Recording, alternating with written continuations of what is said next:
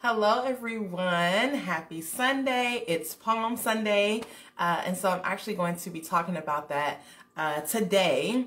Uh, to use a scripture just to reference uh, just Palm Sunday uh, and when Jesus came riding in on the donkey before, a week before crucifixion. So we are just a week away from Easter, Resurrection Sunday. I prefer to call it Resurrection Sunday, but some people call it Easter, which is okay. And uh, next Sunday, I'll have to do something a little special about that now that I'm thinking about that. But welcome, welcome, welcome. I hope that everyone's weekend is going well. I hope that the past week has been good for you um, also. And so we're going to go ahead and just jump right into the topic. So uh, the title of this video is When the King Shows Up. And so I'm going to be referencing again just Palm Sunday or what we celebrate now um, as Palm Sunday, which back then was actually just the week of Passover. And so you do um, see that this is a time that Jewish people um, are celebrating the Passover. But we're going to talk about just the unusual things that you can expect when Jesus shows up in your own life, in your own situation. So um, I'm going to pull up here. We're going to read just one scripture uh, with John 12 and 12. And um, this is again when Jesus is riding in on a donkey. So give me one moment while that is coming up. If you have any questions or, you know, comments about, you know, the topic today, you can put those in. And if you have a question just about the Bible or faith just in general, you can drop those right in the chat. It doesn't have to be related to this specific topic. And I'll answer your, um, your faith or biblical questions um, right here in the chat. And it can even just be a life application issue as well. Just how do we apply the Bible in this particular um, circumstance? So if you have that, you can drop those in the chat and I make sure that I will get to those at the end before we actually end today. And so hello, shout out to everybody who's watching live. Thank you for being here. Hope that your day is going well. Okay, so let's go to John um, 12 and 12. So it says, on the next day, um, much people were come to the feast when they heard that Jesus was coming to Jerusalem. And then verse 13 says, and they took branches of palm trees and went forth to meet him and cried, Hosanna, blessed is the King of Israel that comes in the name of the Lord. Again, um, 12 and 13, uh, John 12, chapter 12, verses 12 and 13 says, And on the next day, much people were come to the feast. And when they heard that Jesus was coming to Jerusalem, took branches off palm trees and went forth to meet him and cried, Hosanna, blessed is the King of Israel that cometh in the name of the Lord. So in this situation, first of all, you have prior to this moment, um, for the past three years, Jesus has been walking throughout, you know, the area and doing miracles and he's been teaching. And during this time period, the religious leaders of the time, the Pharisees and the Sadducees were not happy with Jesus because of the fact that you had people who were so like enthralled by what they were doing and he was attracting these large crowds. And so they actually saw him as a threat. One, because um, they thought that he was going, that Jesus was going to try to build his own kingdom and try to go against the leaders and the kingdom and the government at the time. But that's not what Jesus was coming um, to do, at least just in that sense. There was a greater purpose of the uh, for Jesus actually coming to earth to redeem mankind and to redeem the whole world. But they were really intimidated by him. And so, uh, oh, you guys, my... This is really bad. My phone is about to die. Give me one second while I go and grab my charger so that my phone does not die in the middle of this broadcast.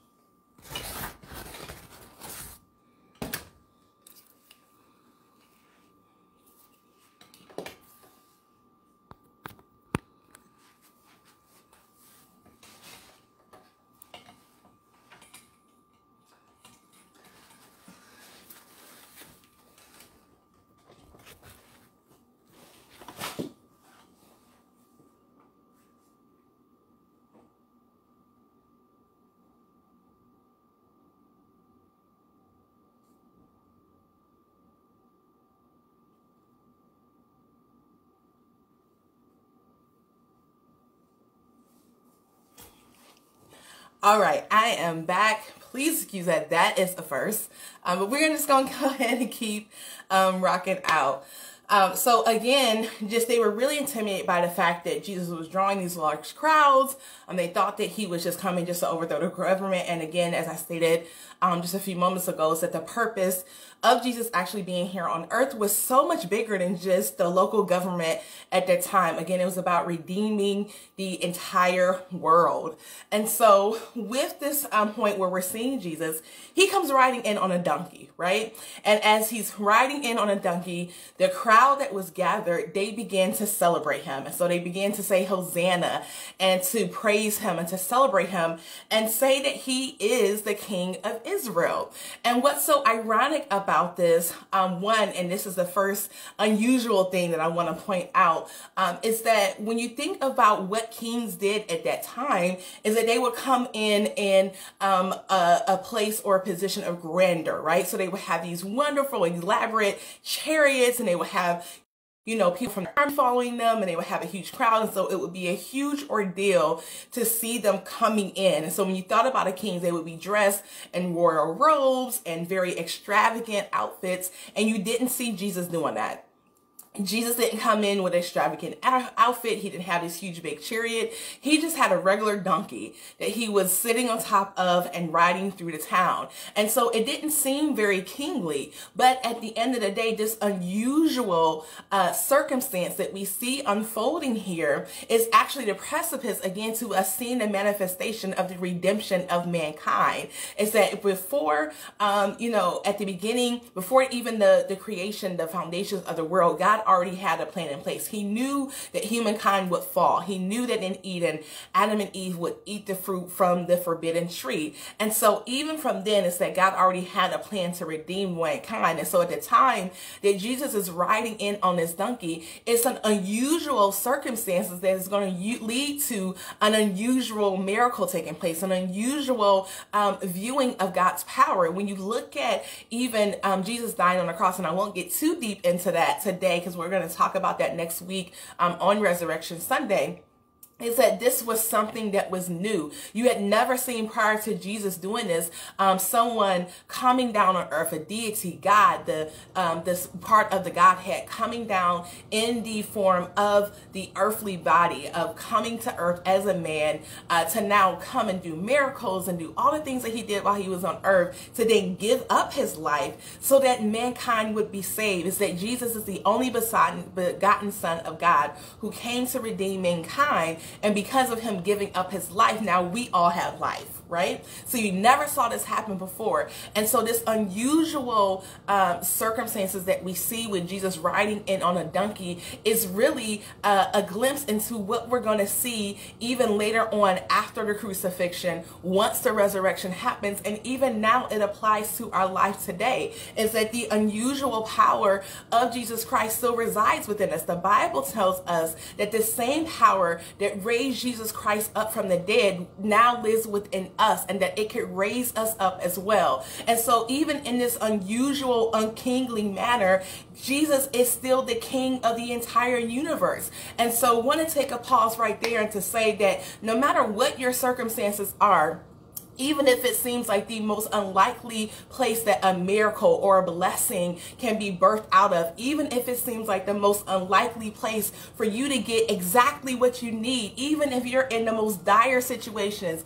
and it seems like there's no way out, the unusual places are still perfect for God to do what you need Him to do. Oh my goodness, let me tell, okay, y'all, I'm about to get hyped. So when you look at even the miracles that Jesus, let's step out of the moment of Jesus even riding in on a donkey I'm crawling Hosanna. Looking at the miracles that Jesus did, when you think about the man who was blind and Jesus spit in some mud and put that on his eyes, that was unusual. How can you use something dirty? How can you use something as nasty as spit and that be the thing that now gives somebody vision that allows them to be able to see again? And so we see the unusual producing a miracle and giving sight to a man that was blind. Even when you look at even the feeding of the multitude. It was greater than 5,000. You have a little boy who surrendered his lunch and who said, Hey, I have these two fish and five loaves of bread. And the crowd in excess of 5,000 was, was fed. You have the unusual happening. A school lunch for a little boy is not supposed to be enough to feed the whole crowd. But in this unusual situation, you have God pray one prayer, one blessing. And because of that one blessing from God, you see now increase and abundance because it wasn't just enough to feed the crowd, it was enough even for them to have 12 basketfuls of food left over. And so, again, going back to the story of Jesus walking in or riding in on the donkey in this unusual situation, and again, this leading up to an unusual redemption of mankind, you have people who are now praising and acknowledging God. And so, now let's take another pause right here. And even though the Bible does not give a lot of um, specifics about the people in the crowd as far as their names and what they were going through, statistically thinking or looking at this crowd is that it's unlikely that this entire crowd that was coming and crying out Hosanna uh, had perfect lives. It's statistically unlikely that none of them um, didn't have any dire circumstances happening in their life, that they didn't have something that they needed um, to happen in order for their life to improve or to, to be better. And so, in spite of whatever they may have been going through, they still, one, acknowledge Jesus. And so, no matter where you are in your circumstances, no matter how unusual, how uncomfortable it may be, you still want to acknowledge God because God is always with us. God is omnipresent. And so, He's always there. He is accessible to us. He is there. He loves us. He is here with us, even now in this very moment moment.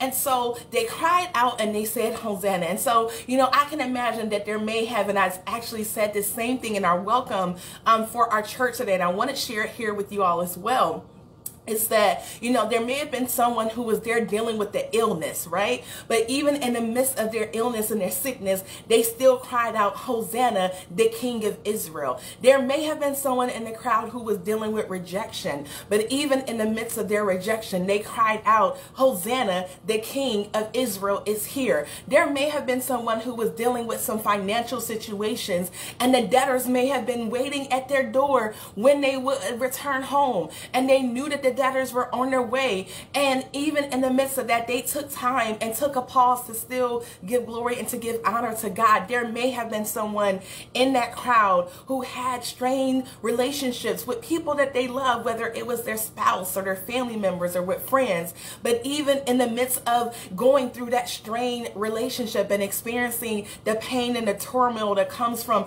not being on the same page with someone that you love, they still cried out, Hosanna, the King of Israel is here. And so it's an example to each of us today is no matter how unusual, how uncomfortable, how burdensome, how dire our situations need is that we still need to make sure that we take time to acknowledge one, that God is God, that God loves us, that God is powerful, and that no matter what we're going through, there is nothing that can exceed his power and his ability to move so mighty in our lives is that unusual circumstances circumstances birth unusual blessings. I'm going to say that one more time.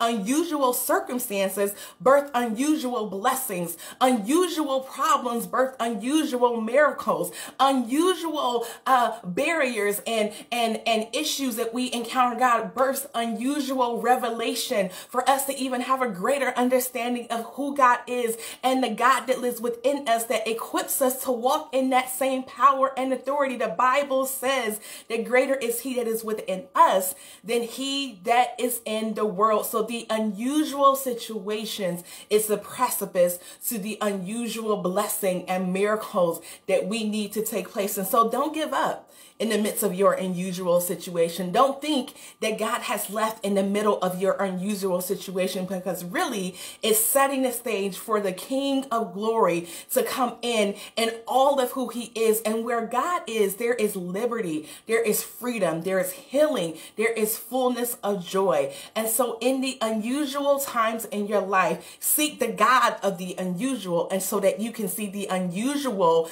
continue to take place that works on your behalf, because the Bible tells us that all things work together for good to them that love God and are called according to his purpose. So be encouraged, everyone. Don't lose hope. Keep the faith. Keep speaking the word of God over your life, over your family, over your business, over your health, over your finances, over your relationships, over everything that concerning you so that you can see it produce the wisdom and the power and the glory of God in every single aspect of your life.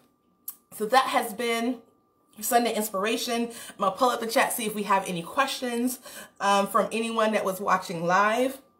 While I'm doing that, uh, I do want to go through and talk about the announcements um, for the group as far as who all comes live is that on Mondays we have Monday Motivation with Michelle. On Tuesdays we have Fitness Tuesday with Sasha, who is here in the group. On Wednesday, Sharia comes in with Wellness Wednesday. Sharia and I then go live together in a group on Thursday afternoons, um, and we talk about emotional wellness topics as well, and also hot topics that's going on and how we can use those situations to even inform our own lives. Um, and then on Thursday evenings we have Sasha or Tasha, who comes in the group with yoga. Fridays, we have Lisa, who's here with um, skincare and tips on how to take care of your skin and even makeup tips as well. And then Saturday for Small Business Saturday, Sharia and I post um, group, uh, videos to give you tips to be able to grow your business and expand your business. Um, and so make sure you check that out because once a month we also go live as well. Um, but just to close out, just want to do a brief recap of what I talked about today. Is that again, is that with Jesus riding in on the donkey for now what we now celebrate as as Palm Sunday, which was the Passover back in his time, is that you saw him riding in on a donkey and the people were declaring him the king of Israel. And typically in biblical times, um, is that you saw kings who would ride in on these grandiose chariots and elaborate outfits and things in there so that people would look and say that's a king. And so even though Jesus didn't look kingly, he was actually the king of the universe. And him riding in on that donkey in the least unkeenly way was setting up the stage for the most unusual blessing and miracle to take place. Is that with the crucifixion, he didn't just die, but he rose again and he took back the keys, the king or the sting of death and the king uh, keys to have access for us to have eternal life as well. And so no matter what unusual circumstance you are in personally, your unusual circumstance is the perfect situation for an unusual miracle and blessing to take place in your life because God is king and of the entire universe. There's no situation, no matter how dire it looks, no matter how bad it looks, there is nothing that happens in your life that is outside the confines of God that's still doing impossible. The Bible says that what is impossible with men is possible in God. And so that you want to expect even in your unusual, uh, what seems like dire circumstances, expect the unusual blessing, expect the unusual victory, expect unusual life to be produced in every aspect of your life because again, God is able to do exceeding abundantly above all we can ever ask or think. So that is a quick recap. If you want to watch the cool message, message for those of you who are coming on late. I will make sure that I post this in a self-care group so that you can watch the full message.